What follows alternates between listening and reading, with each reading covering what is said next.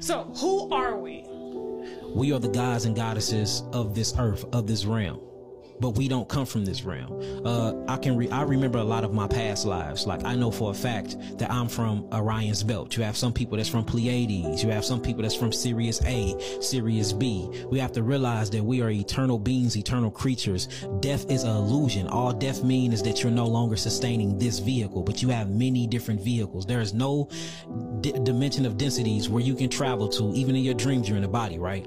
When you're daydreaming, you're in a body. There is no dimension where you're not in the body. It's just different types of bodies you inhabit. You have terrestrial bodies, you have celestial bodies, and you have aquatic bodies because all of us come from the water. You see what I'm saying? So, so if I ask who we are, we are all. We are consciousness. We are God experiencing itself in seven billion different people because it wanted to experience is creation. If you were all knowing and omnipotent and all seeing and, and you created something, you will want to experience what you created. You want to enjoy the fruits of your labor. How can you do that if you don't inhabit a body because you're consciousness? What the mind would do is create a body to experience reality. What do you think the reason for, for, for hands for? If I can touch things, you know the best analogy? Look at a baby. A baby runs around, put everything in his mouth, uses hands for everything, on his knees, it gets into everything. Why? Because it's using his body as a, a toolbox, a toolbox to figure out reality, to experience. We are here to experience. So who we are, we are God. We are consciousness experiencing itself in a physical, terrestrial, or celestial form. And we go